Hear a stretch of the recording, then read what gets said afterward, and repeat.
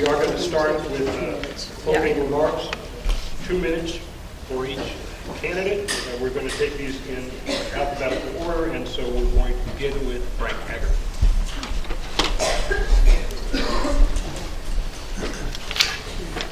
Ours is a grassroots, volunteer-driven campaign. No expensive political consultants. The Sierra Club has endorsed me again, a seventh time.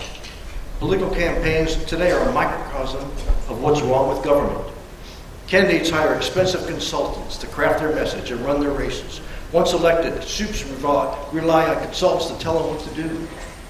With seven terms as Fairfax mayor, I had to rely on myself, volunteers, colleagues, and town staff to solve problems and make decisions. We have no money for expensive consultants.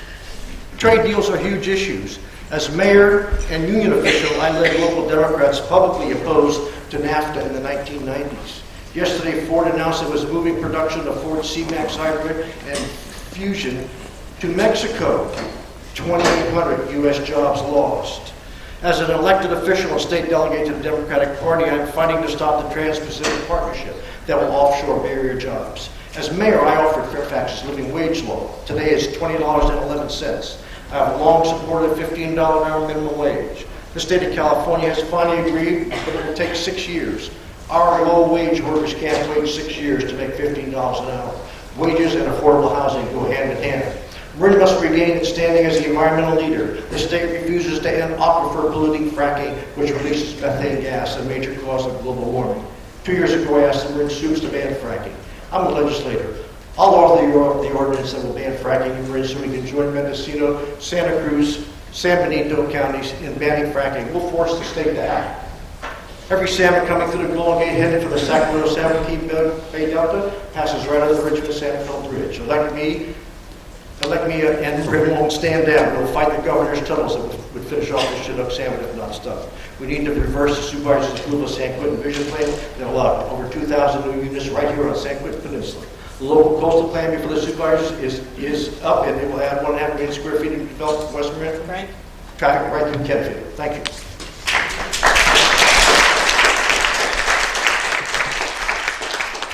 Next, Kevin Haroff. Am I next? You are next. Thank you. Can everyone hear me? Uh, First of all, I want to congratulate Frank on getting the Sierra Club endorsement this past week. Uh, I just want to mention something that Frank did not mention, is that I actually got a Sierra Club endorsement myself this week. I'm very uh, grateful for that. Uh, I just wanted to say uh, uh, a couple of things about myself. I don't want to make a big speech because we'll have opportunities to actually ask questions and interact. here. Louder. Louder. Oh, I know, I'm terrible with microphones, thank you, that's okay. I just wanted to say a little bit about myself because I think a lot of people in this room may not know me as well as I'd like them to.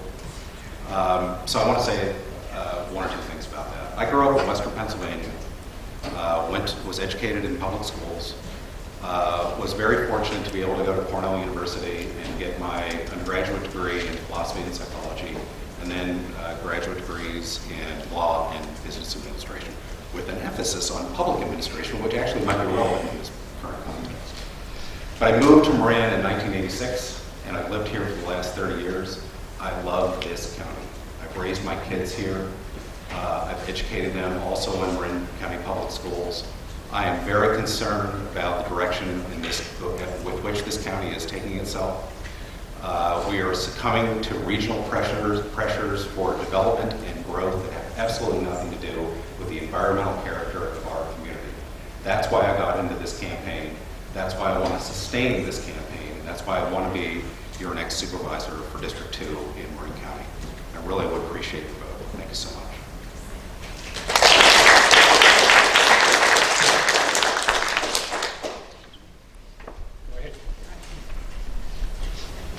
Okay, well, good evening. Uh, It has been an honor, and continues to be an honor, to represent the residents of District 2 as supervisor these past four years. Um, It's also a pleasure to be here tonight in front of all you great Marin Downs in our own Downs Central Project. So thanks for having us. So I am a lifelong Democrat. I also am a lifelong Marinite. I grew up here, I raised my three children here, and I'm personally and profes- professionally invested in this great county and committed to its core values around open space and environmental protections, children and family, and supporting healthy, vibrant communities. My work as supervisor has been informed by these values and by two decades of community work supporting our schools, advocating for equity in education, working on local causes that made our community stronger. In my first term as supervisor, I focused my energy and attention on pressing community issues, and I am proud to have made progress on many. I led the effort to permanently protect the beautiful Sky Ranch property above Fairfax and San Anselmo as public open space. I've helped to secure millions in grant funding for flood protection and wildfire prevention efforts. I've taken on local traffic, launching a yellow bus, a school bus pilot, and the College of Marin student bus, uh, student transit pass program.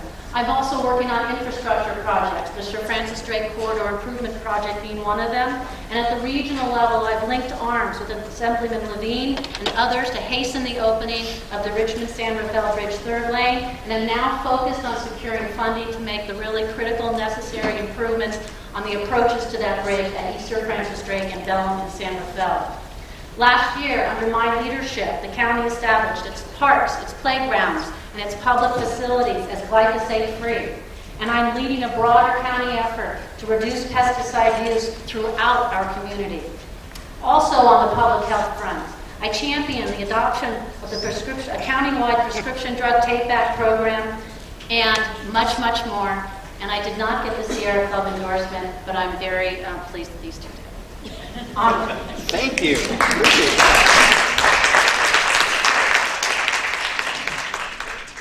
Okay, we now have four questions as submitted by the members of the Central Committee. Answers are one minute, and done a decent job so far uh, respecting the timekeepers. I know y'all had kind of set comments that maybe didn't quite get timed right. On these answers, please keep it to one minute. We have a lot of candidates tonight, um, a lot to discuss. Is that better? Thank you very much. Okay. It. Is that- better? Can you hear me now? Okay, great. All right, so the first question, we're going to continue in this order, but we're going to rotate who starts. So the, the first answer is going to come from Kevin Haroff.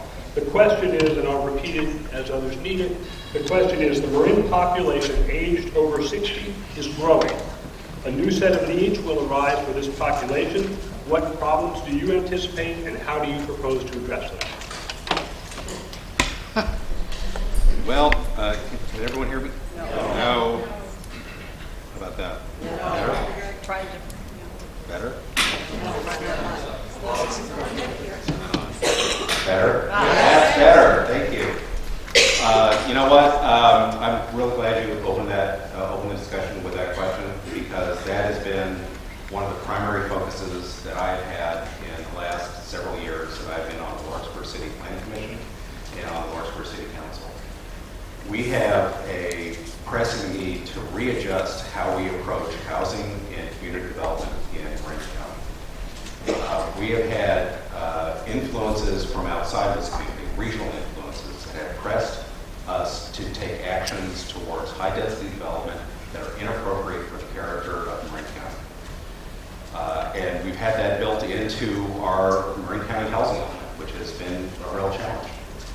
Uh, In Larkspur, we've tried, I've tried at least, to promote uh, alternative, innovative issues, innovative strategies to address exactly that issue through junior second units, through infill development. We have an opportunity to address that challenge in that capacity, and that's the way I would do it. Thank you. Turn on. Um, Yes, a a really excellent question and something um, that I have been working on in different ways, mostly through transportation. One of the biggest issues um, for our seniors is that they tend to become housebound, uh, either because they um, are uncomfortable about leaving their homes and driving out of the community, and/or they just lose their connection to community as um, people age out and move out of the community or family's not there. So one of the things we really have to work on, in addition to trying to provide some different housing options that allow people to move from their single-family homes down closer into the community downtown, where they're more closer to people and socializing, is also transportation. How do we get people who are up in the hills uh, down to services, down to social events, so that we don't have folks housebound and disconnected from this community. So Marin Transit's working on some really innovative uh, transit programs, volunteer driver programs that actually send individuals up into the hills to connect people with the, the places they want to go. And then also on the mental health side, we have actually ambassadors that go out and provide mental health connections to our seniors. We're just going to do this. That may not be I don't think that's working. Yeah, Okay, it's that's back, good. back. There you go, Frank. As mayor of Fairfax, we were faced with a 70-unit, low-income senior project, and it got bogged down in a zoning issue. It couldn't be approved because of the zoning issues. I facilitated the approval and the construction of the Bennett House, 70 units of low-income senior housing. Currently, Fairfax is addressing uh, a a 54-unit senior citizen low-income housing project. And I'm hoping that's going to sail through the Fairfax Town Council like the Bennett House did when I was the mayor. I proposed a new on-demand app-driven transit system that would be small vans driven into the hills, into the neighborhoods to pick up folks, to get them to doctor's appointments, to shopping locations, to bus, to ferry, or to train stations. Uh, Marin Transit isn't working the way it's set up, and we, we need to come into the 21st century. Thank you. Thank you all for uh, respecting the timekeepers. Let's set up and get Supervisor West. You're going to start next. As supervisor, what will you do in the next four years to ensure that real progress is made in implementing meaningful flood measures in the Ross Valley? All right, thank you. Of course, this is a big issue for me. The most important thing right now about flood control in the Ross Valley is that we move forward with projects in a really inclusive way that brings the community along with not only the design and the decision-making, but also at every step along the way. So I think that Phoenix Lake uh, is something that the community is interested in pursuing, and we're getting that one launched and off the ground. We just started um, a community participatory process on the Army Corps project in Kentfield and Ross, where we'll have field trips out to the creek as well as the, the required um, environmental review program. But the lesson learned from Memorial Park is you cannot you cannot force a project on a community unless they've been part of the design and part of the decision making and actually are supportive of the project in the end. It's just a fruitless effort. No, No. no. Frank? Frank? Oh, I'm sorry. There you go. The county has spent $8 million on consultants trying to solve the flooding issues in the Ross Valley. The consultants have no clue. Their, their plans are wrong-headed. There, there's no institutional knowledge of how Fairfax and San Anselmo and Ross and Kentfield flood. They've made huge mistakes. A number of us attended the county flood zone meetings. We went to San Anselmo Town Council meetings. We said, don't destroy our kids' playgrounds. Don't dig up Memorial Park. Don't dig up Lefty Gomez Field. Those won't work. We want real green solutions. When they refused to listen to us, I helped San Anselmo folks draft an initiative, took it to ballot. We're going to do the same thing in Fairfax to protect Lefty Gomez Field. There will not be a detention basin at Lefty Gomez Field. I'm working with moms and dads up there. There are greener solutions. We need to clean the creeks. We need, we need cisterns. Uh, we, we need rainwater catchment. We need uh, to, to raise some structures that are in the floodplain. There's, there's a number of ways to do it. Thanks, Frank. Um, I actually, uh, this is a really terrific because uh, I saw the IJA today. And in the front, front line, or the front page story for the IJA was basically uh, Supervisor Rice, Rice abandoning Lefty Gomez, which is appropriate. Uh, I've been to all of these meetings, and I've actually seen the discussion about the detention basins. The detention basins are a bad idea.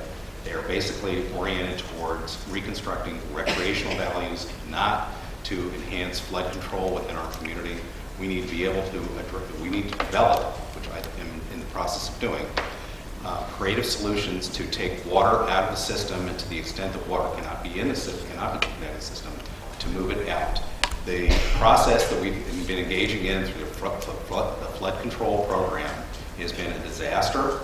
Um, The Corps of Engineers program has been inappropriate, and I am absolutely opposed to the way in which this process has been conducted. Thank you. Okay, for the, the, uh, the next question, the first goes to Frank. What is your opinion of San Anselmo's Community Facilities Master Plan? As supervisor, what would you do to support the cities within District Two to maintain and upgrade facilities to meet the needs of current and future populations, including San Anselmo's Community Facilities Master Plan? You know, it's interesting, when the county was working on its housing element, uh, they they selected sites within cities and towns' sphere of influence for high-density housing. They had no business going into a planning sphere of influ- influence of one of our cities to make determinations as to what kind of, what, what kind of housing should be there, how many units.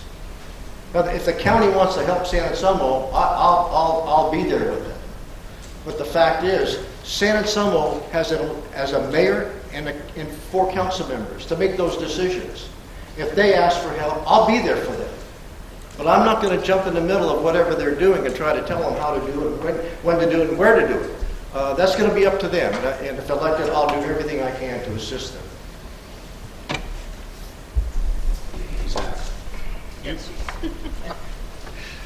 Uh, uh, Once again, thank you for asking that question. Uh, I have to answer that question from my perspective as a current city council member in the city of Larkspur uh, and currently vice mayor. Uh, We've gone through a process within Larkspur to reevaluate our housing element, and I'm actually grateful to see some city council members from Larkspur here in the room tonight. Uh, Appreciate that support. Um, We are working on, I think, uh, innovative strategies, as I just mentioned, to really focus on the reconfiguration of our housing element in a way that takes us into the 21st century and that respects the communities that actually exist within our jurisdictions. Uh, I think that's, I have to actually agree with Frank. It's, it's really important for us to take advantage of the opportunities that we have as local municipalities to focus on the authorities that we have to make sure that our communities are well, are well respected in that context. Uh, and I am completely in support of that, and I'm told to stop. So I you. The San Anselmo Community Facilities um, process was an excellent one that started out at the ground level, and involved the community members in going through their facilities, particularly uh, Memorial Park and the Isabel Cook Center. I knew they were entering into this process, and, and so I asked them that they actually include the Marin Housing Authority in that conversation because there's some really important affordable housing on the same footprint there. And they went through a design process with the community that looked at, at they created a master plan that not only made for improvements and, and the potential for actually increasing the number of affordable housing units there at Memorial Park, but also a much better use of the facility and the space in general. I think there's a real um, important role the county can play and the county supervisor can play in supporting projects like this that are supported again by the community and have a broader community benefit than just actually the folks that are living in the town. Memorial Park is used by uh, children and families from the Route Ross Valley, and uh, when they're ready to move forward, I'm going to be ready to support them uh, 100%. Thank you. The, the uh, fourth and, and final question, uh, Councilmember Haroff, you will start. Okay. The question is, how would you address the affordable housing issues in the second district? And more specifically, would you support rent control or some alternative plan to control skyrocketing rents? You know, uh, it's, it's been, uh, rent controls have been an issue that has come up uh, repeatedly for me as I've walked around the neighborhoods in the city of Lawrenceburg. Uh, We have uh, probably as much, if not more, within the city, uh, uh, our neighbors who are in uh, rented apartments. Um, I have always been concerned about rent control as an economic concept, but I think it's important for us to remain open to that um, as a strategy that could be built into a range of strategies that would help support uh, folks that live in our neighborhoods. But I actually think it's much, it's much more important for us to be focused on uh, strategies that will build housing that are affordable for people who want to live in our community, who support the people who live in our community already. Um, So I think a range of strategies is what we need to do, and that's what I support. Yeah. So the Ross Valley is really pretty much built out. We have very few opportunities to create new housing. So um, I, I- under my leadership, the Board of Supervisors conducted a series of workshops last year in which we kind of took um, a realistic look of what are we able, I mean, what does the community need? What do we really we can be successful at? And how are we going to get there? With regards to preserving a mix of housing in this community so that all range, income range levels of folks can stay here. So what we landed on was a strategy of acquisition, preservation, conversion, identifying housing that's out there that's currently affordable, though, though that may not be deed restricted, and finding partners to try to acquire it and then deed restrict. We need to work within the existing built environment to provide the, con- the housing mix that every community needs. And through, set, through acquisition, preservation, and conversion, through the development of second, junior second units and second units, we might be able to start to make inroads. But certainly, we need to prevent further loss, and we need to focus on what we can realistically do. All right. Frank? Oh, Frank, sorry. Yes, yes. Mm-hmm. Just in time. Fairfax is one of the most affordable communities in Marin. And it's that way because of what we did. I wrote, I drafted and wrote an ordinance that was challenged all the way to the Supreme Court here in California. And we were upheld. This town, an incorporated city, General City, I might add, has the authority to protect affordable housing by whatever means they feel very, it is important to do. So Fairfax banned the condo conversions of all apartments at Fairfax. We've never lost one apartment complex to, to, uh, to condo conversion. So new development, new development, I'm demanding 50% inclusionary for, for affordable units. If you want to build uh, higher density, in, higher density housing in Marin, you need to have 50% affordable, not the 10% that, that they try to give us. Rent control, I'm a no on rent control. Uh, rent control is not the answer. San Francisco has tough rent control laws, but it, it exempts properties that were built after 90, 1995, and, and it doesn't work. Well, thank you all very much, and uh, interesting answers, and thank you for getting the pattern down and and respecting the timekeepers. We are now down to the time for a one-minute closing statement from each of you, and the first one on the closing statement from Supervisor. Oh, yeah. Start timing me. I didn't. So I- I'm running for uh, reelection to this seat because I love this job, which is hard to believe, but I really do. I love working with the people in this community. Also, there's so much more work to do. We haven't talked about homelessness. We've got a real problem in San Rafael, and it's about making sure that people who are on the street get into the services they need, and making sure that people who aren't interested in, in services and are on the streets and move on out of town. We need to work on affordable housing and preserving this mix of housing that we were just talking about. Our housings, are- our communities are starting to strangle themselves because we're not able to so- hold the people in town that we need to provide vital services and to be there for us. Um, We need to continue our vigilance around environmental protections, and- and we need to work on climate change. Much work to do. Um, I think I'm the person to do it. I have a track record of success. I have relationships throughout this district and this county with leaders, community leaders, electeds, uh, and residents. I've earned their trust and respect, and if you check out my endorsement list, you'll see that. So thanks for having us here tonight. Frank is next. Thank you that the Sorry, I jumped the gun. Here you go, Frank. As candidates, we've had at least a dozen questionnaires to answer. One common question is, how much money will your campaign raise? We want to know if your campaign is viable. I've never raised tons of money for any campaign. We've always run grassroots, volunteer-based campaigns.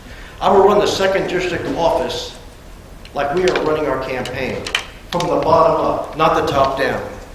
Speaking as California's first Proposition 20 Coastal Commissioner, I would love to replace Supervisor Kinsey when he steps down from the Coastal Commission. And I'd like to once again represent Marin. The county must take responsibility for dealing with homeless issues. They can't let San Rafael bear the brunt. San Rafael businesses, neighborhoods need relief. More endorsers. In addition to the Sierra Club, the California Nurses Association, former state senator Noreen Evans, Marty Griffin, the author of Saving the Bridge Sonoma Coast, Ross Valley Sanitary District Director Pam Meigs, Ginger Susan Mason, President Pesticide Free Zone, Dr. Diana Parnell, Fairfax Southwest, Barbara Kohler. And all San Antonio County, San Antonio Mayor's, uh, uh, Fort Frank, you Greene. had a good thing going on. Well, that was good. Um, What, what is- what is my, what what is my time start? Uh, I, I, again, I want to congratulate Frank for getting, for the umpteenth time, the Sierra Club's endorsement, but I actually am very proud of the fact that I received the Sierra Club's endorsement for the very first time in this election. And I have to say that I reflected on that over the last day or so, and I appreciate the acknowledgement that uh, Mr. Egger has gotten for all of the work that he has done over many, many years to support the environment in Marin County and throughout the state of California. But I, I view the endorsement that I received from the Sierra Club this week as forward-looking, as an endorsement of myself to take the values that I have as an environmental lawyer for many, many years and move forward to protect the environment of this most beautiful county in the country and protect it, to preserve it, and to promote it as the innovative, assertive place that really is. I'm so proud to be here tonight, and I really appreciate the opportunity for you to listen to me. Thank you. Thank you all. Let's give all these candidates. We're now going to start with the candidates for the third district. We have two candidates. We have Supervisor Kate Sears and one challenger, Susan Kirsch. And we'll just, this, you guys might have a little bit easier time than the folks who went before you, and definitely an easier time than the groups, the next group. We're just going to be bouncing back and forth between you, but we are going to go alphabetical order. Same rules apply. Two minutes open, four questions with a one-minute answer, and a one-minute close for each of you. Blue means 15 seconds. Red really does mean stop. And as I just pointed out, a lot of you remember, speaking faster does not get you more time. So, we're going to begin with the third district. We're going to start with opening, and first will be Susan Kirsch. Well, good evening, everyone. Um, I'm really pleased to have the DCM sponsor this debate. I've been a member of the Democratic Central Committee since 2010, and I've been a lifetime Democrat and really proud of the Democratic tradition of being of service to the greatest number of people. And I'm reminded of the quote that we all love from Kennedy of the ask not what the country can do for you, but what you can do for your country, and want to see how we continue to celebrate that idea. At the national level, it's embarrassing to see the way there is a sinking into mean spirited and accusations. And I want to say I'm committed in this county at the local level to be operating, focusing on the issues. What I bring to this race, I've been involved in grassroots leadership since getting started with Friends of Mill Valley back in 27. Dick Spotswood recommended at the Friends of Mill Valley model as something that would be relevant for the entire county for looking at how to bring together neighborhood and community groups to strengthen their education and their engagement and their empowerment to be able to hold on to local control in their communities. From that, I moved to the Marin Coalition, and more recently in 2016 have been invited to run for the Board of Supervisors with people saying, it's time for a change. So I'm very happy to be here to say that working together, as I have a history of doing with many, many groups, we can work together to tackle those difficult problems of housing and of transportation and of pensions and of pesticide and the whole range of them.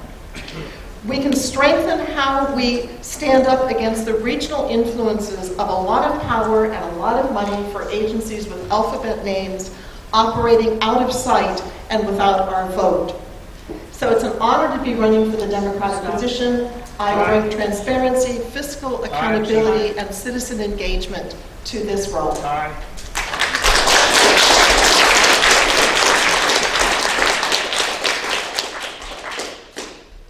So I've been a lifelong Democrat, although I'd like to say I was raised in a mixed household. My mother was a Democrat and very active in local politics, and my father was a Republican and very active in environmental preservation. So I got good values on both sides of the family tree. So my family moved to Mill Valley in 1955 and then Sausalito in 1965. I went to Marin Country Day School in Tampon. I really am a daughter of this community and I understand our values. I was a lawyer for 22 years. The last six of those years I was with the California Attorney General's office and I'm proud to say that I was the lead lawyer in the first lawsuit filed against Countrywide for predatory land lending it resulted in an $8.6 billion nationwide settlement. And I bring that activism and that sense of compassion for people to my current job. I've been your supervisor for almost five years now, and I've really been busy.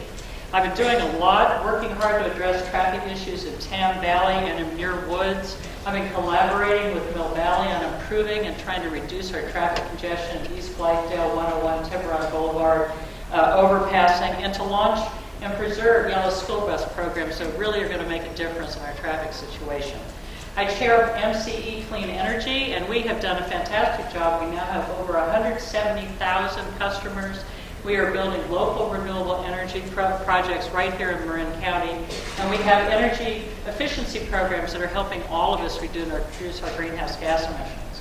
I've been a leader in the county on addressing sea level rise, educating people, and really trying to figure out what we are going to do to address our future and how we're going to collaborate, the county, the cities, and the towns, to do a countywide sea level rise vulnerability assessment and figure out how we're going to work together to prepare ourselves. I worked with my colleagues on the Board of Supervisors to accelerate $84 million in payments to pay down our retiree uh, pension and retiree health liabilities.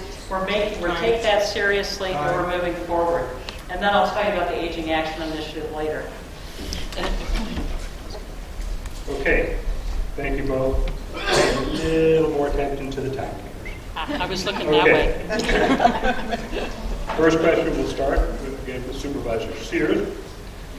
The Marin population aged over 60 is growing.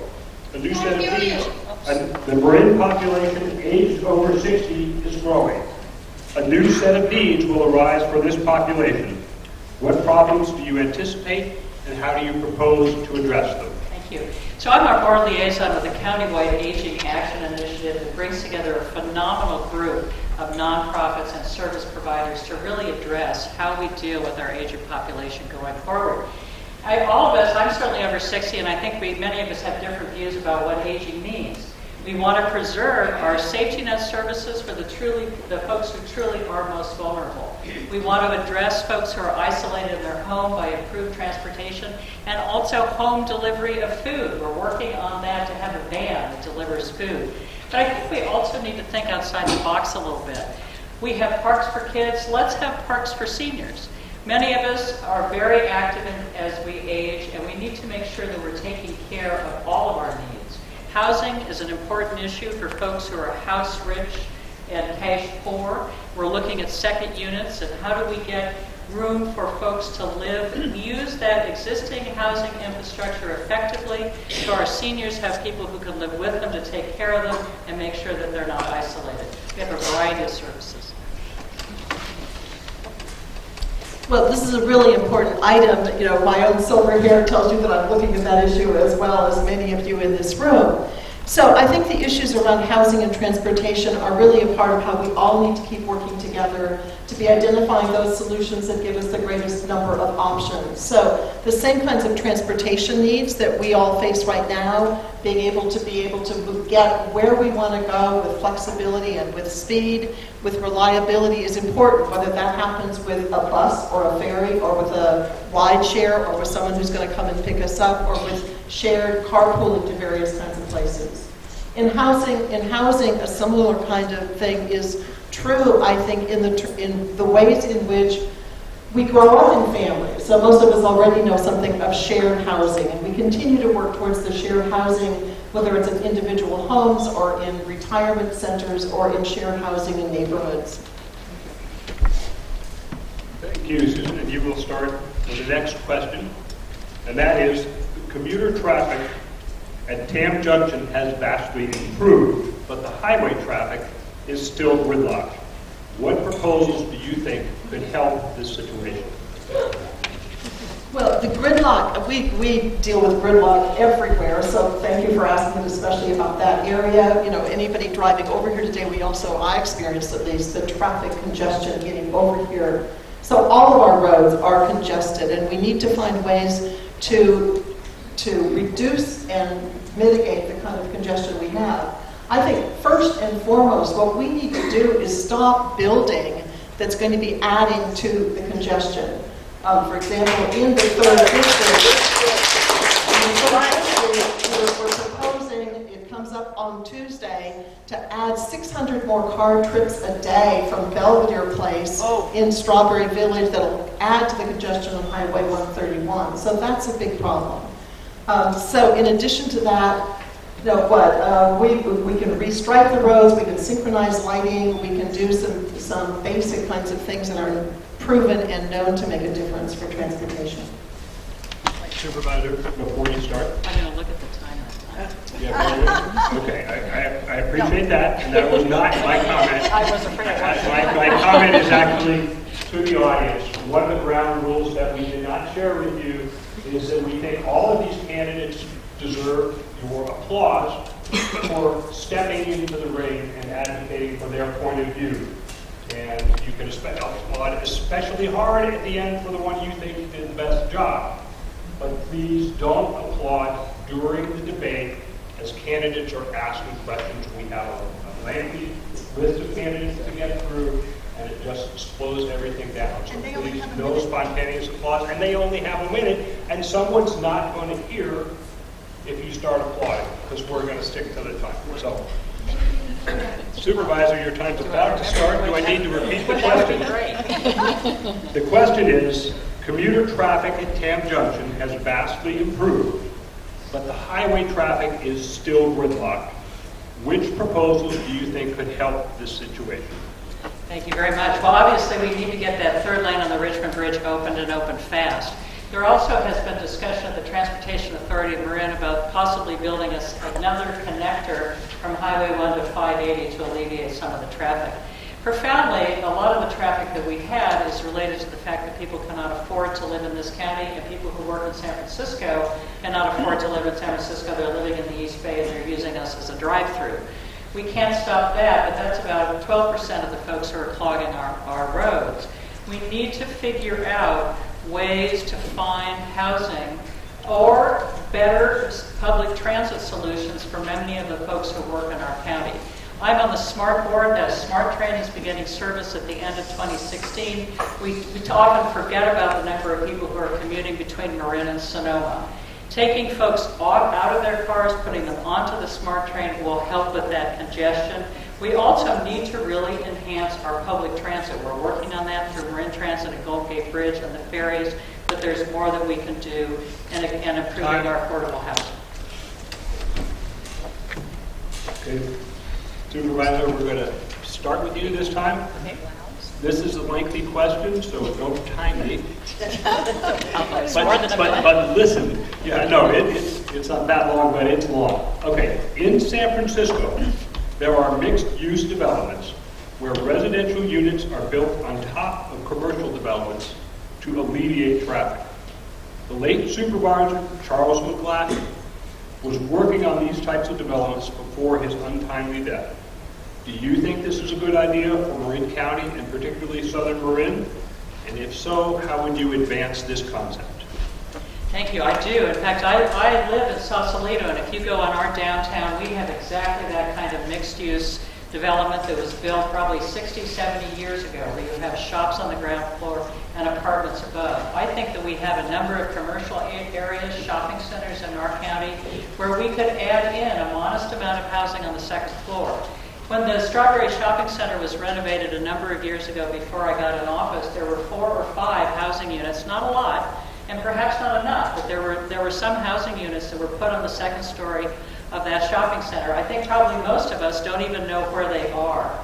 We have space that we could use in a way that would fit in with the character of our community and, and not add unduly to our burdens of traffic and also allow people to live here. So I think it's something that's important to proceed with.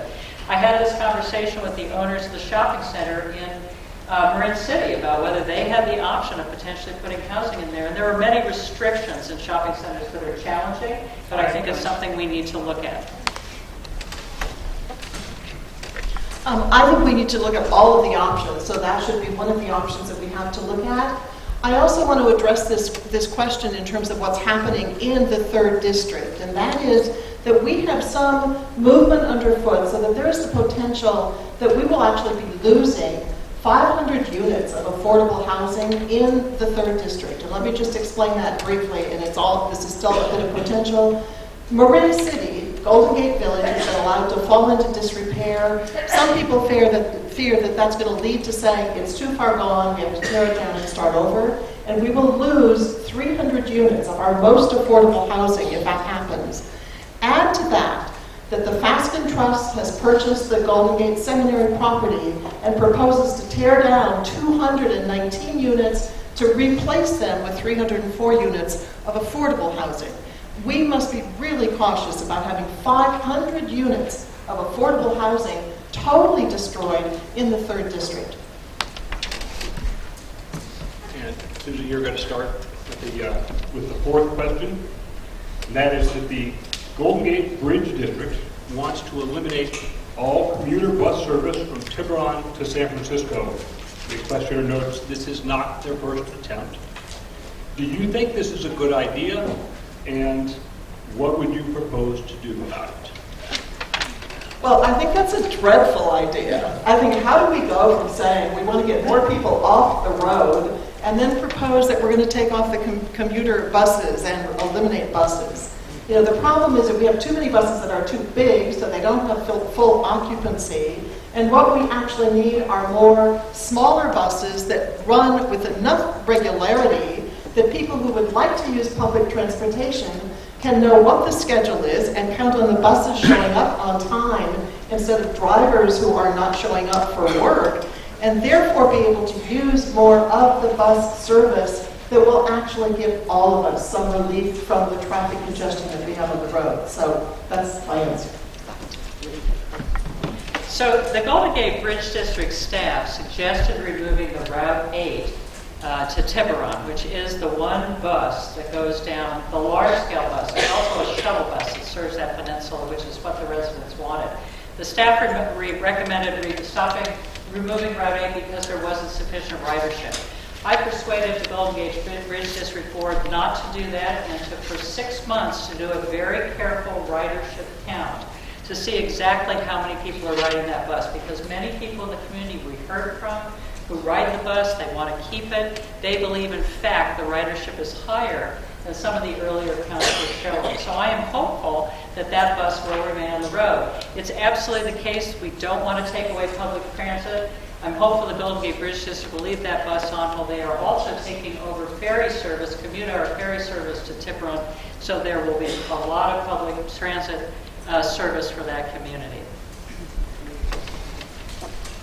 All right, thank you all. Thank you both very much for thoughtful answers to those questions. We now come to the closing remarks. Supervisor, we will begin with you with one minute closing remarks. Okay, thank you very much. So, as we know, there are significant issues facing this county. Some of them we've talked about, infrastructure and traffic, climate change, our affordability crisis, and I just want to make sure, make clear that what you heard about the potential for removing 500 affordable units in Southern Marin is absolutely not the case. I have the experience, the skills, and the track record to tackle all of these challenging issues and to get things done. To be effective, you need to have an open mind and you need to listen to everyone, even if you don't agree with them and they don't support you. And then you need to make a, a decision. Just saying no does not get the job done. To make good decisions, we need to find common ground. We need to collaborate in new ways, and sometimes we even need to think outside the box. That's how I do the job as youth supervisor, and I look forward to continue to working together.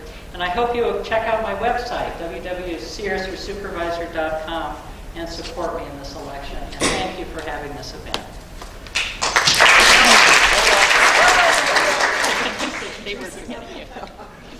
Susie, you, Susie, you get the last word. Okay, thank you. So Marin, with Mount Tam as our glorious guardian backdrop, makes this a really incredible place for all of us to live. And we're a community of amazing, innovative, and creative people who care a great deal about what happens here. And I share with you that sense of caring about the community. If elected to the Board of Supervisor, I will, as I've always done, work collaboratively with stakeholders and constituents and other kinds of groups. We'll face the challenges of housing, pension, traffic, and all the other issues, and I'll work especially hard to strengthen the voice of the people in unincorporated areas. I've got the endorsement of, ci- of the Citizens for Sustainable Pension Plans, and I want to call out one uh, idea. It's been said, behold the turtle. She only makes progress when she sticks her neck out. I'm sticking my neck out in this race to be the board of, the next board of supervisor for District 3, and I ask for your endorsement, and I ask for your vote.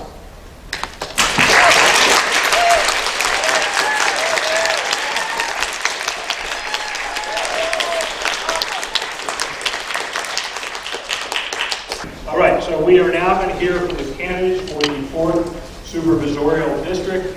Uh, For those of you that, that have not followed this, unlike the other two, there is no incumbent running for reelection. So these are all folks that will be new to the job of supervisor if they are successful. And uh, it's a crowded field. We have several of them here tonight, and we'll do our best to uh, work through this in an expeditious fashion. First, with a two-minute opening, we're going to hear from Al Dugan.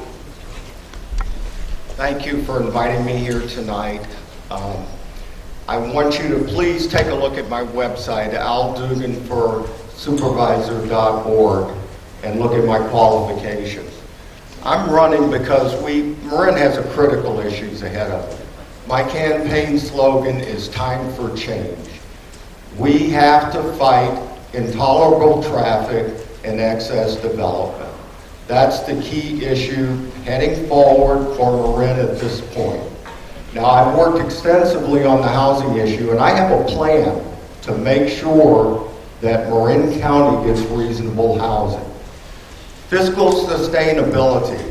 I have a strong financial background and analytical skills. Check my, res- check my resume on my website. We have a $638 million pension unfunded liability right now. We have got to fix that, and we've got to make it work moving forward. We also have a budget deficit predicted in 2018, 2019. And then finally, the major issue is we need engagement in Marin County. We, there's too much backroom deals, special interests, and not engaging the public. Too many projects, like the flood basin projects, start completely planned, and then they come to citizens, and everybody goes, what are you doing? So we've had that happen in Novato with a bus station, that 106 bus drivers said, it's unsafe, but they're continuing to build it. So it is time for public engagement. I'm going to hold town halls, and I'm going to make sure I am engaged with the people of Marin. Thank you. Thank you. No, come on now, okay. Next, next, no, we need, hang on a second. Next, because we are going in alphabetical order by the candidate's name.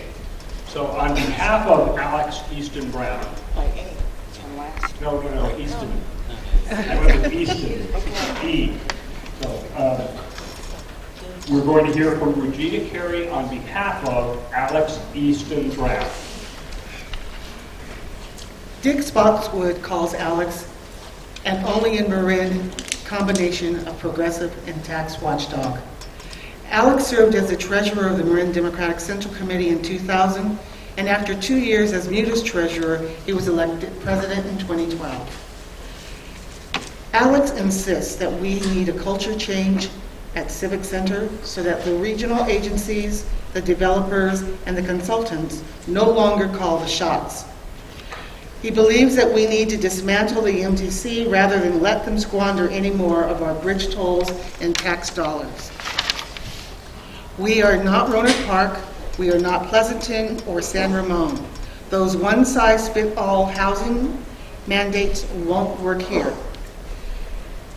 He believes the supervisors waste millions on consultants, yet our roads still go unpaved. We need a cap on the pensionable pay, pensionable pay for county employees. Pensions should be a safety net like Social Security, not a windfall like winning the lottery. He believes that Laura's Law is absolutely essential because without it, we can't even begin to solve our homeless problem. We should no longer tolerate the filth and the used syringes on our sidewalks or in our parks. We have a right to a clean and non-threatening civic environment. Alex, as a parent, knows firsthand the grief and heartbreak of seeing his child on the streets, homeless, at risk because of drugs and alcohol. Yet without Laura's Law, it is impossible to intercede. Thank you. Thank you, Regina. Next, we'll hear from Wendi Kallins. I got my own timer going. Hi, thank you for uh, inviting me here. I am a lifelong Democrat, and I have never missed a vote, and I am proud to have received the endorsement of the Novato Democratic Club. Um, I'm an established local leader in transportation policy and environmental stewardship. And I must say, everyone has been talking about our traffic congestion. I am, some, I am the one candidate here who's actually done something about it. As the founder and program director of Safe Routes to Schools, I have collaborated with parents, neighbors, elected officials, and staff at 58 different public and private schools in order to reduce traffic congestion. When I started 16 years ago, the schools in the cities were not talking to each other. As a matter of fact, the schools didn't think traffic was their problem, and nobody was listening to the parents. Now I have about a dozen committees where everyone sits down and works together for the safety of the children. We've brought in over $30 million worth of safety improvement around the schools. But we did not just improve it here in Marin. This program went statewide, it went national. There's one, there was $1.1 billion allocated to safe routes to schools nationwide. I just returned today from Columbus, Ohio, where over 600 leaders across the nation, from DOTs, health departments, parents, school district, and regular volunteers, were collaborating on how they can make the streets safer for children, healthier communities, and reduce traffic congestion. But I have not just done traffic congestion. I, as I've also I've been a lifelong volunteer ever since my high school days in things like marching against the war, environmental stewardship, women's rights, and protecting our open space. And that is the leadership that I will bring as your supervisor. Thank you very much. Thank you. Next, we're going to hear from Dennis Rodoni. Sorry. Good evening. I'm Dennis Rodoni. I reside in Olema with my wife of 37 years. Hold the mic up. I reside in Olema with my wife of 37 years, Judy. My grand, great grandfather came to Olema in 1864, according to Dewey Livingston, the Marin historian who operated there. I was raised in Point Reyes Station. I attended local schools and graduated from Chico State University with honors in economics. For over the last 34 years, I've managed and owned Rodoni Construction Company in West Marin, uh, basically doing custom remodels. I'm happy to say I'm the only candidate in the 4th District endorsed by the Sierra Club. For 21 years, I've been a board member of the North Marin Water District. I've worked on water issues in West Marin and Novato. In addition to that, I've been on committees and advisory boards advising the Sonoma County Water Agency on water issues in the North Bay and Marin County. I've been the special district representative on LAFCO, the Local Agency Formation Commission, which works with uh, cities and special districts on spheres of influence and annexations. For the past 35 years, I've worked to make my community a special place. That included a lot of nonprofit board work, ranging from the Coastal Health Alliance, where I helped bring coast, uh, health care for all in West Marin communities. I've worked with West Marin Senior Services, and my task was to chair the committee for finding and funding assisted living facility in Point Reyes Station. The West Marin seniors now own their own facility and provide assisted living care for eight individuals. I've chaired the Point Reyes National Seashore Association when they managed and contracted for the Giacomini Wetlands uh, restoration. You have my personal commitment that as your supervisor, I will have an open and transparent government in office. I will be accessible all the time. Thank you. Thank you. Now we'll hear from Brian Staley. Thank you very much for the invitation to be here. It's a pleasure to be here. I'm a third generation Californian. I was born in San Francisco and raised in Marin County. I grew up in San Anselmo and graduated from Sir Francis Drake High School in 1981. My mother was a community activist, introduced me to a number of political notables, and taught me a deep reverence for the natural world. I've spent my life fighting to protect every corner of our spectacular county, and it has truly been a joy. Defending the legacy protecting the rural character and natural resources of our communities is a responsibility that I take very seriously. I've been a planner, builder, and designer for 30 years in Marin County. My areas of expertise are in the field of construction, our envelope efficiency, and sustainable design. As part of my career experience, I've become very familiar with all state and county codes as they pertain to building, planning, habitat, land management, waste and its treatment, and zoning. Since 1991, when my wife and I purchased our home in Woodacre, I've been staying abreast of all changes in the county, and in particular, development proposals and policy changes in and around West Marin. As the current chair of the San Geronimo Valley Planning Group, which is a local planning body overseeing changes in our community since 1972, I've had the responsibility to familiarize myself with all planning and building proposals in the district. Whether it's road repair, new infrastructure, new codes, or a big development proposal, as chair, I have to know these proposals and policies inside and out. I've assisted developing our community plan, been involved in many large project master plans like Spirit Rock, and have become versed in all technical aspects of the regulatory and planning rules and requirements that govern nearly every change in our community. That's what the supervisor does. And next we'll hear from Mari Templeman. Thank you, Mrs. Mary. Mary, okay. Mary and I, everyone calls me Mari, but that's okay. That's pretty.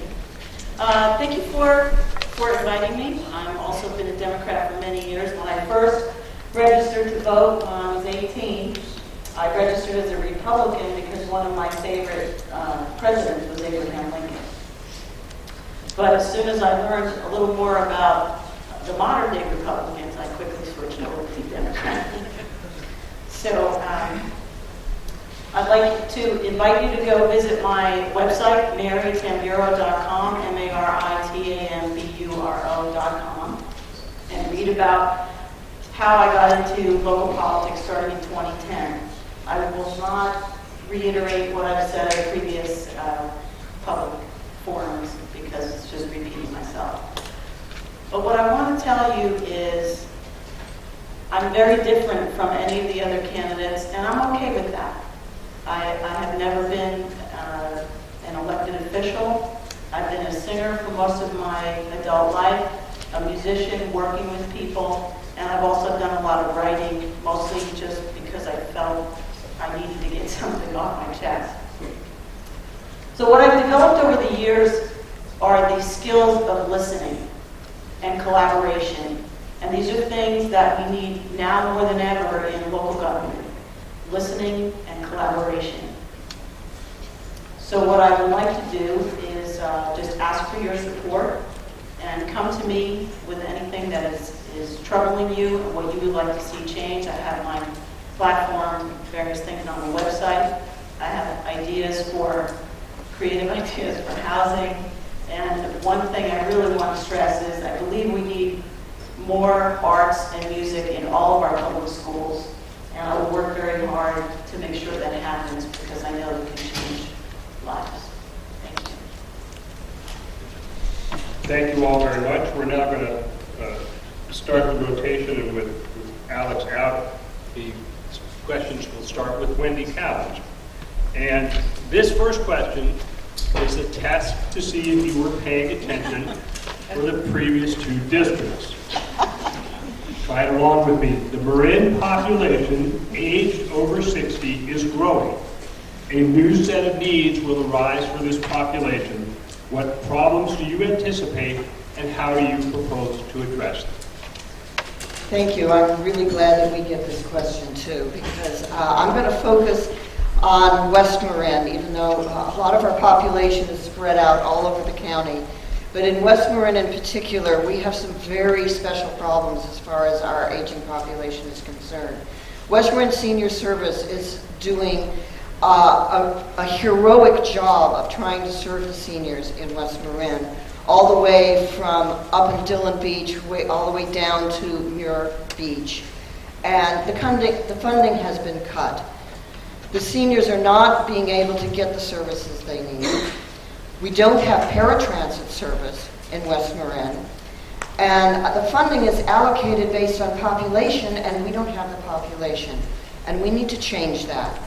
And one of the first things I want to do is change the, uh, the allocation of services to our seniors and to all of our health services in West Marin. And I hope there's a housing question because uh, I want to get to that one too. Thank you. Thank you very much. 75% of Marin are over 45, so we're all going to get there very soon. Aging in place is a priority and should be a priority for our counties.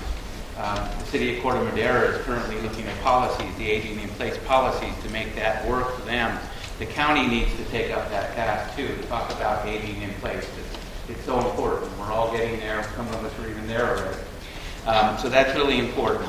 The aspect that we look at second units and junior accessory units as options for all our senior services, senior, senior citizens, so that they can actually raise income from their house and stay in their house longer. Very important aspect. As Wendi said, I know the West Senior Program very well. I was part of it. I helped them develop an assisted living facility in West Marin for six or eight people now. And what's important about that, it's one heck of a model for the rest of us to be looking at, because they do everything that we need to do in the rest of the county. Thank you very much.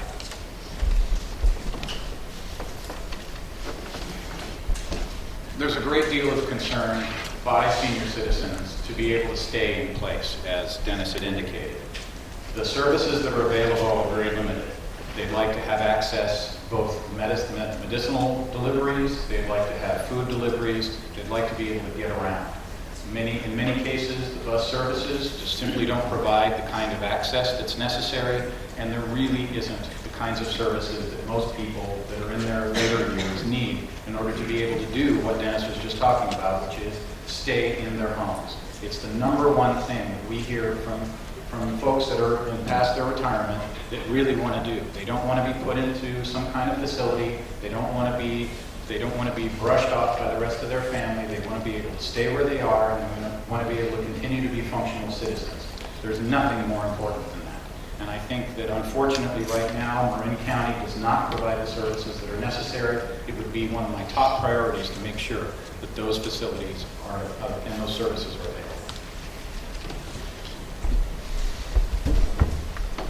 Okay, now this is a big one. Marin Villages, I don't know if you've ever heard of it. It's a really great program that's volunteer-based. And what I would do as supervisor is see what we can do to uh, expand those services countywide.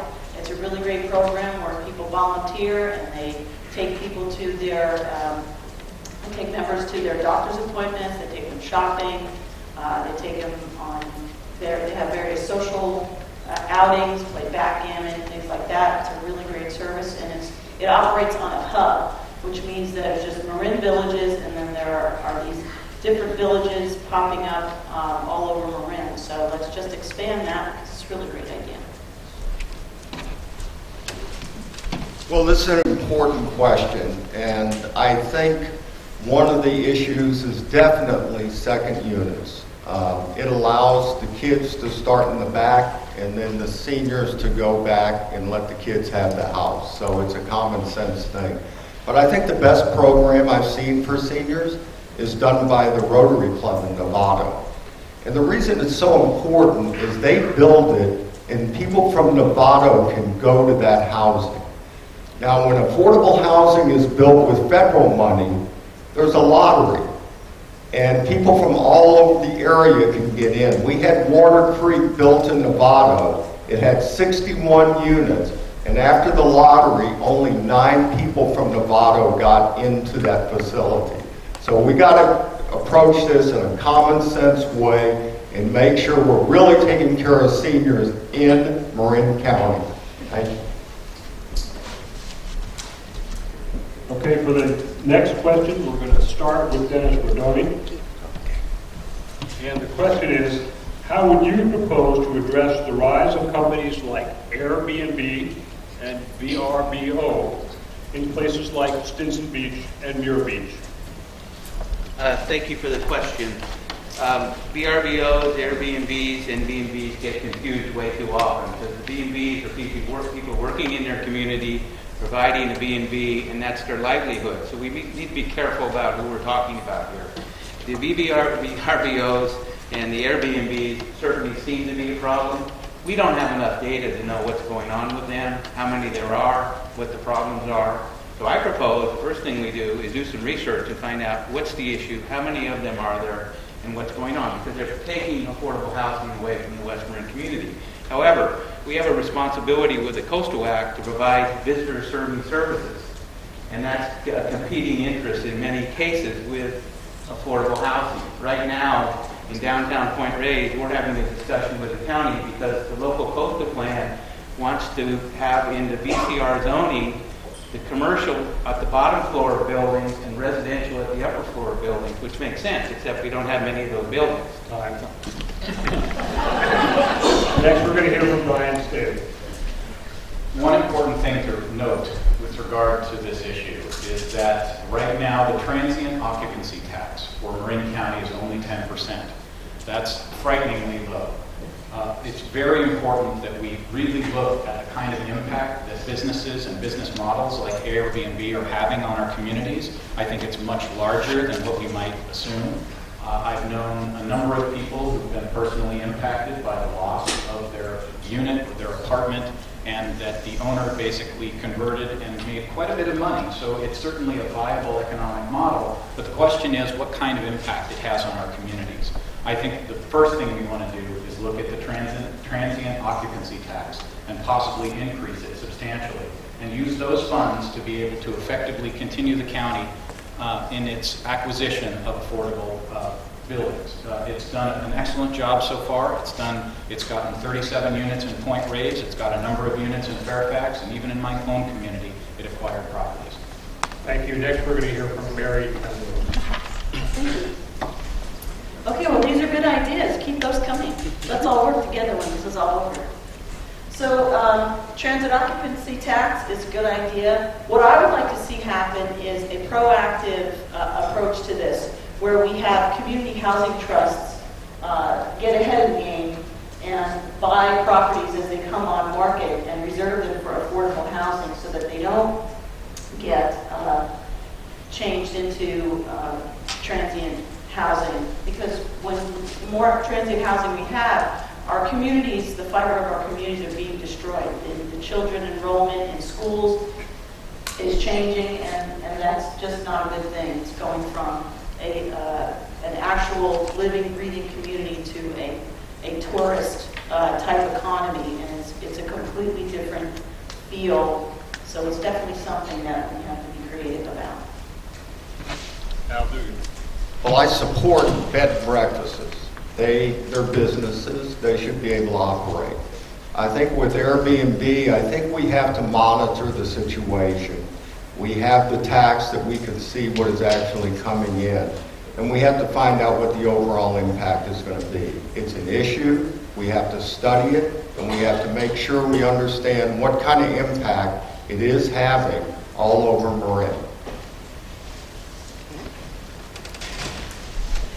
I've been holding roundtable discussions with communities all over my district, and in West Marin, this is one of the number one issues. Not only with the Airbnb, but also the fact that people are buying homes as second homes, and there, we have whole blocks, whole communities that are empty most of the time. There is a model in Santa Cruz, which I think is one we need to look at, in which they actually, where they, first of all, we have to have permits if you're going to do Airbnb, and second of all, we have to limit the number of permits. That is what Santa Cruz is doing. And that would allow some people to be able to make the extra income that they need, but it also will discourage people who are buying homes and emptying out units that they're, um, that they're renting out to full-time tenants for, um, for part-time tenants if they know that they can't get that permit. And I think, uh, uh, finally, I think we have to have incentives to have people keep full-time tenants in their second units so that they don't become part-time tenants.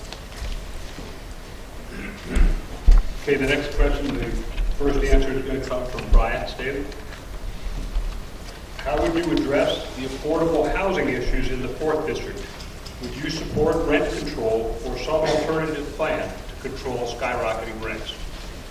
The supervisors and the staff of Marin County just finished a series of hearings that were asking that exact same question. The supervisors essentially unanimously decided that they were not going to do rent control. So as a single individual, um, I would not be able to change that momentum, but I do think it's something we need to look at. I think that rent control specifically and rent in general is absolutely out of control in Marin County. Um, my understanding is, and I was just talking with, uh, with a, the gentleman who oversees the Canal Alliance, he said in his district alone, or in his area alone, in the Canal of San Rafael, rent went up by 11% in one month. That is not a sustainable rate. It cannot be continue like that. We will be out of housing and everyone will be on the streets at that kind of rate. So yes, I think second units are an excellent option. I think there's a variety of other things that we need look at, but I can't go into extreme detail because my time is limited. But Yes, all our time is limited. Everything is temporary. So, um, some of the things that I already stated, Community Housing Trust, uh, I would look to the Artworks Downtown model in San Rafael. Uh, It's done a wonderful job buying building, and every unit in it is affordable. Also, I do support the infill approach, and uh, I've asked the question about rent control, and I'm, I'm open to continuing that conversation, because I think it's really important that we're able to keep uh, housing affordable, especially for our workforce, so they don't all have to drive from Santa Rosa to come to work. Well, as far as affordable housing, I believe the requirement for a new development to have 20% affordable housing is the way to do it. But I think we have to use second units and generally promote smaller infill projects. And I think that's the best way to achieve the affordable housing goals. As far as rent control, you got to be careful because if you control the rent, people won't build new buildings because the rent will be controlled. So I think we have to look at it, we have to study it, and we have to understand it, but we got to make sure we don't do more harm than good by using rent control. Thank you. So if you know state law, you know that um, no new buildings can be under rent control, so it doesn't actually inhibit new buildings. I think rent stabilization is something that needs to be explored. It's being explored in, in Oakland and in Santa Rosa. It needs to be fair to the landlords, but we to be fair to the tenants. And as I agree, what's going on in the canal and in many parts of Marin is unsustainable. I think a very good idea that has come out of CLAM and West Marin is the idea of a land trust buying the land under a home and letting the people contain, continue with ownership of the home. People who are cash poor and house rich can use that infusion of cash either to go to a smaller unit, um, change their, uh, their, uh, you know, use it to upgrade their own home, pass it on to other people, but you have in per- perpetuity uh, preserve that unit in affordability because the land cost has been taken away and you now have control over it. I think that's something we need to explore. Thank you. Marin is a small county. We can't do things in big ways, and we continually prove that. In particular, West Marin needs to do things in incremental ways. Affor- Affordable housing can be addressed through second units. We need to revise the second unit policy and make it more affordable. Though. Junior second, uh, junior accessory units are good um, tools for all the areas of Marin County to use to rent a house out in your, in your, rent a bedroom out in your house to, to someone to uh, develop income for you and also provide housing. There's no impacts of that sort of thing to the community, and that's the best thing about it. Um, certainly, uh, the uh, things in West Marin that have worked well are the Bolinas Land Trust and CLAM. CLAM is currently looking at the Coast Guard housing in West Marin to be all affordable. And it's a great program, and it's going to happen. Congressman Huffman is behind it, and legislation has already been passed to sell that in the county. Um, those kind of programs are things that we need to do, but we need to do it incrementally in small, small means. So. Okay, thank you. That brings us to our fourth and final question. Mari, we're going to start with you. And the question is, if you get your microphone ready, do you support the county open space plans for Stafford Lake Park? And what do you think about possible expansion of Gnoss Airfield?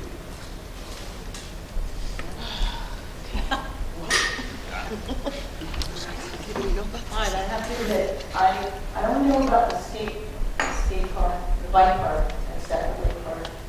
And um, I'm not really, uh, I don't really know much about that particular one. So thanks for asking me that question first. I'm gonna, I'm gonna pass over to Brian, because I'm sure he knows all about it. Well, he's not next.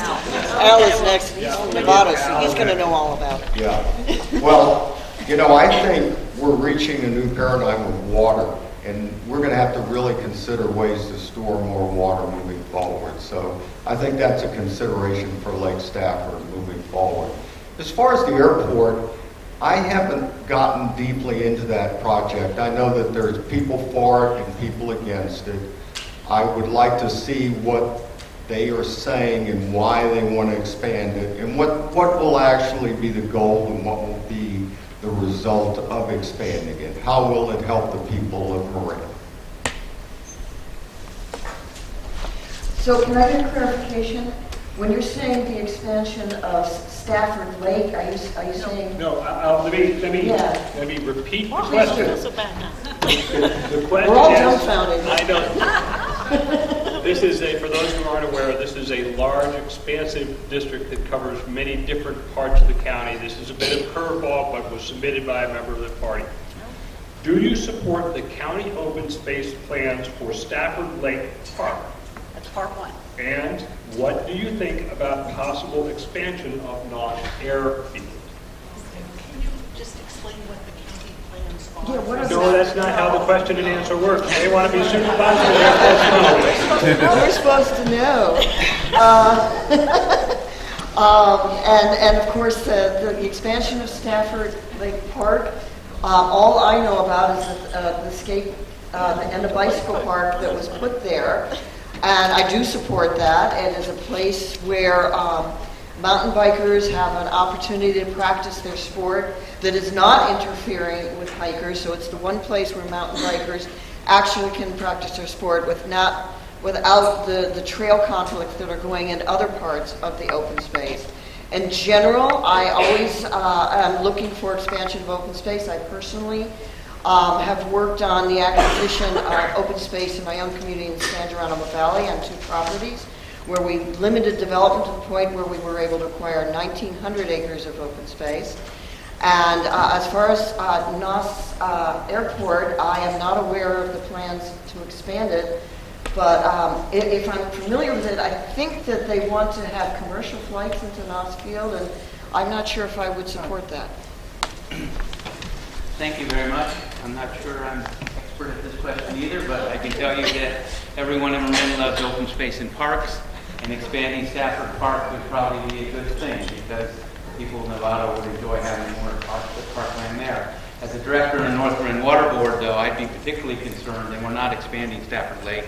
It's not going to happen because of environmental regulations. It's not going to, not going to happen. But I'm concerned about the water quality of Stafford Lake and any potential impacts of that because that water serves 25% of the water that we use in Novato. So I'd be very concerned about that. About the airport expansion, I have heard about it, and I think we need to be really careful about the unintended consequences of doing anything, and we have to really understand that because sometimes even the best plan in the world ends up being the worst plan in the world. So we need to be careful about those kinds of things, and that's what I would say about Gnoss Field at this point. Just maybe make sure we understand it, make sure we understand the unintended consequences of doing that project. Thank you. I'd like to second Dennis's point if your question about expanding uh, Stafford Lake had to do with the water holding, that it's simply not going to take place. The environmental uh, standards and the uh, uh, regulations uh, won't allow that to take place. However, I have been out and I have seen the skate park and I have seen the infrastructure that was installed. It was done extremely well. And I know that people have really enjoyed uh, going out there and using those, uh, that infrastructure and those facilities. And I've had a lot of positive feedback. So I want to applaud the individuals responsible for, for building that. And it is wonderful that it's off the beaten path, it's out of the way of other places, and it's not interfering with equestrians and hikers, which is really important to a lot of people. The other thing I would like to say really quick about the airport is that right now its infrastructure is not capable of being expanded, and it really is something that would require an enormous amount of effort, an enormous amount of investment in order for it to take place, and I don't see it being a viable option. Okay, thank you all very much. That was a bit of a curveball, but asked by a member of the uh, committee that lives in your district and is concerned about these issues, so there's some legitimacy there. Uh, Now we come to the close, and the first person we're going to hear from is on behalf of Alex Easton Brown.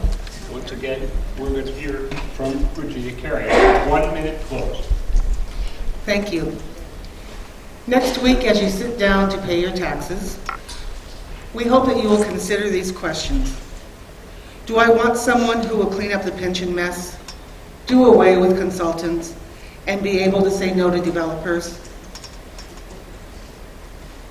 When Alex ran four years ago for Assembly, the Pacific Sun endorsed him, calling him a straight talker with relevant experience who would be good for his district.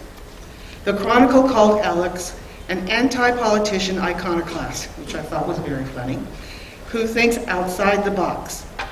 The Bohemian said he was humble, honest, and, ex- and says exactly what is on his mind, and that is true. As president of United Taxpayers, he has shown that he can work with difficult people, that he can work success- successfully with both MAPE and CSPP, and bring them together with good results. Please. That's a good quote. All right, Alvin. I have a proven, proven track record as an executive and a leader for the last 24 years. And I have a tremendous background in finance and analytical skills. The two critical issues I brought up, which is getting the housing right, because we're at a critical point, and fixing the pensions, which are a $638 million liability right now, are critical for this county moving forward. Those are by far the most critical issues we have. The making sure we get our housing allocation correct impacts every aspect of the quality of life in Marin. Traffic, water, schools, you name it. So I hope you will consider voting for me. Go to aldugan4supervisor.org. Thank you. Now, Wendi Capps. Yes, I am running to ensure that we maintain strong local representation for our district residents and concerns. I want to bring a balanced approach to the Board of Supervisors. We have done an incredible job in Marin County of protecting our environment, and we need to hold the line and continue that. We've also done a great job of building and protecting our agricultural heritage, and we need to fight to preserve that. But the real challenge of the 21st century is are we going to protect the integrity of our community? And that means our people. It is the people who, who fought to protect the environment. It is the people who run our ranches, and it is the people who do the work every day that makes Marin special. And we need to have a Marin that is available of people of all incomes. And I will work to do that. Please go to wendikallins.com and read about my issues. Please join in my campaign and volunteer, and that's Wendi with an I and Kallins with a K. As a lifelong, as a lifelong Democrat and Sierra Club endorsee, I am deeply committed to serving our district and our county. My experience in local government and as an elected uh, office holder give me the necessary, necessary tools to start working day one. I understand how county, state, and federal government work, and I know how to make those entities work for the people of the 4th District and the County of Marin. If you care about West Marin as I do, and Marin also, join me on June 7th. to Vote for Rodoni. You can visit my website at Rodoni for Supervisor 2016 for more information. I'm all in for Marin. I hope you are too. Brian Staley. I have the experience necessary after spending three decades as an advocate working to improve the health of our communities and addressing development pressures in Marin. With new county and state policies being drafted, which will bring unprecedented change to our neighborhoods, we need a county supervisor with real experience in policy and planning issues who will be a steadfast advocate for residents and the environment. As supervisor, I will bring my planning and green building experience to bear and make fundamental improvements in the way the county does business. I will work tirelessly to provide support for all the diverse communities in the 4th District of Marin County. Together, we can make a difference. Please see my website at brianstaleyforsupervisor.com, and I would very much appreciate your vote. And Mari Tamburo. Okay, once again, thank you so much for inviting me here. And um, once again, I have the least amount of governmental experience, but I have quite a bit of diverse life experience. I was raised in uh, Section 8 housing in New Jersey. I spent my childhood there. The first time I came to Marin County in 1976, I was awestruck by the beauty of this county and never in my wildest dreams did I ever think I would end up living here. And if you had asked me five years ago if I ever would consider running for public office, especially supervisor, I would have thought you had gone completely crazy. Because, um, 15 seconds. Yeah. So anyway, what I was saying is, I have a great love for this county. I have a great deal of compassion for people, and I care about what happens. I don't think we need any million-dollar four-block sidewalks anymore. Thank you all very much. About a great day, Dan?